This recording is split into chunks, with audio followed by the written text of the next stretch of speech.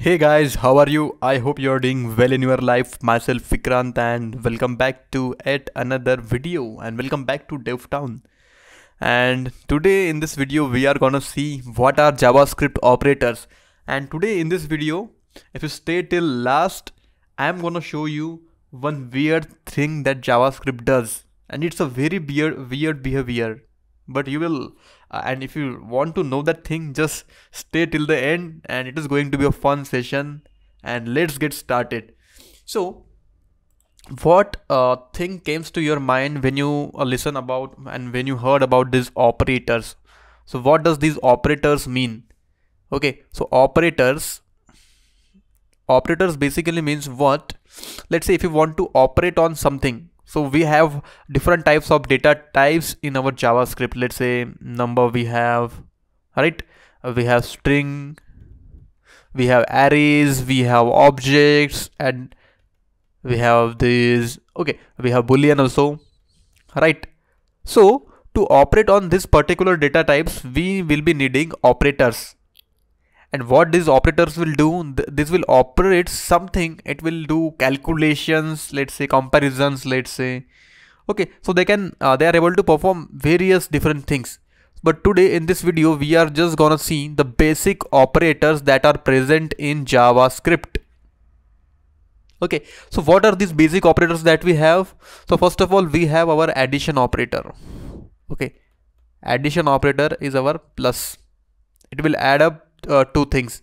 But how does uh, how does it work uh, for different data types? Let us see that with example as well.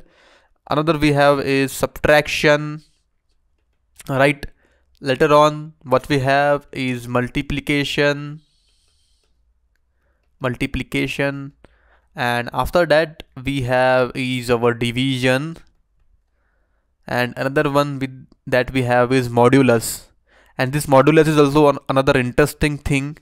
It should be modulus modu right right. Yeah. So we are gonna see these all operators in today's video. So let us just continue this thing with our vs code. And yes right now i am in my index.js file right? So what i want right now is let's say i want to do console dot log and this 1 plus 2 so what is the output that I'm expecting right now? I am expecting it should return me 3 in the output because I am doing simple calculation 1 plus 2 let us see whether it is working properly or not. Yes it is giving me 3 in the output. So yes it is working very properly. So this is the basic use of this our uh, addition operator. Basically this all addition multiplication division modulus these operators are known as arithmetic operators. That is a very fancy name given to these basic calculations that we can also do with the help of calculator as well. Okay. But what will happen if I try to add one string with these two numbers? Let's say I am adding a string of 5 so you know guys that everything written in double quotes or single quotes in JavaScript referred to as stringed, right? But you might be surprised to see, you might say that this will, this code will give me error, but no, just, uh, just see here what I'm getting in my output. I'm getting 35 as output. And how is it possible? See, what is happening? I am getting this result. 1 plus 2 is 3, of course and after that what my javascript encounters is a string. So what what does what does it will do? So it will concatenate my string with the previous result it is getting.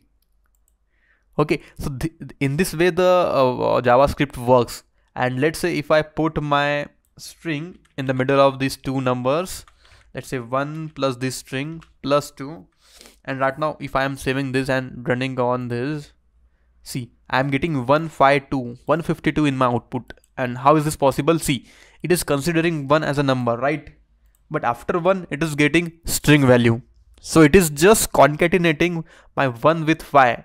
And whatever whatever we whatever value we, values we are getting after the string so my javascript will consider them as string and not as a number so before before encountering string if we are getting in the numbers so it will make a proper calculations addition subtraction whatever it is. After string after the encounter of string value the remaining values are considered as string and javascript will just simply in like concatenate all that all those values. Let's say i'm adding 5 after this i'm adding 7 after these. So it doesn't matter. Whatever i'm adding after this. In the output you can see 1 5 2 5 7 i'm 2 5 7 i'm getting. And let's say if i add 2 before 1 and if I like run it right now let me just clear the console output first of all. See I am getting 35257 so first 3 is getting from these 2 plus 1 is 3 and after 5 all are string values. But it is actually not but javascript is considering them as string values because it is encountering the string over here at the third place so that's the very weird behavior of behavior of javascript and that is the point that i wanted to make particularly in this video. Okay. So that's the very first operator that we have and let's see what is kept there for our second operator that we have is uh, minus operator. So 2 2 minus 1 it will simply give us what? 1 in the output. So that's the very simple thing. Yeah i'm getting 1 in my output let us do one thing. Let us just remove this console. And yeah. See right now what i'm doing i'm just subtracting many files. Yeah. And let us see. What does it give me? See it is giving me minus 19 so that's the very perfect answer over here. And if we try to add the string over here. See. And right now if i try to run this code see. How does how does it work for this minus operator. It is giving me what? Minus 19 the same thing I'm getting over here. See? Okay so it doesn't matter in case of this uh, minus, uh, minus operator or that what we call as subtraction operator it will give me the same results in case of this minus operator. Okay and how why it is be behaving like this weirdly in case of addition operator because if we want to concat concatenate two things we are using this plus operator to concatenate two strings. So that is why it is giving us that uh, weird behavior. Okay. So this is about the subtraction operator. Third one we have is our multiplication operator. And how does it work? Uh, simply we need to pass on two values and i'm using star. So star will be uh, considered as multiplication operator over here and I should be getting 12 12 for this. Yes I'm getting 12 okay so that's the thing. And uh, let's say if I'm adding one more value let's say 5 so 12 5s are 60 let us see if I'm getting 60 or not. Yes I'm getting 60 so multiplication operator is simple. It is just uh, it will just get used for multiplication of two values. And let us see how does it work with string as well. See right now i am also getting 60 in the output. So my javascript will not show me error in this case of multiplication. Let us do one thing. I try to put high over here. And that's a proper string very proper string. It, it is not actually a number and right now if I'm running this so right now it is showing me not a number. Okay. So in case of this number let's say I'm using 80 over here. So my JavaScript will convert my 80 into the number. As as we can convert this 80 into the number properly. We cannot convert any text written over here okay so that's the thing. And that is very that's that is the one that is one of the reason i love javascript. We can write anything over in javascript and we can get our results. Okay so 960 is the output for this. And with that we have another thing that is okay it is getting deleted anytime?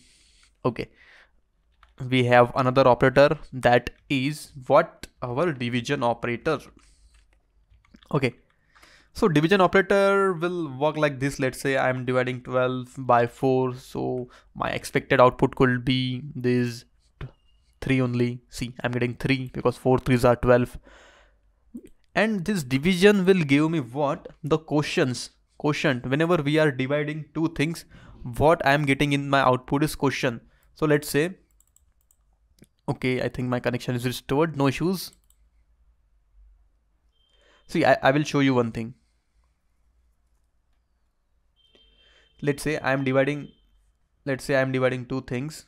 Let's say 4 I am dividing 12 I am dividing with 4 so the question is 3 okay and my remainder is 0 in this case. So my question will always be printed in the output in case of division. Okay so that's the thing. Yeah. And let us see one other thing. Let's say I'm doing 12 by 4 and by 3 this time. And let us see what I'm uh, getting in my output.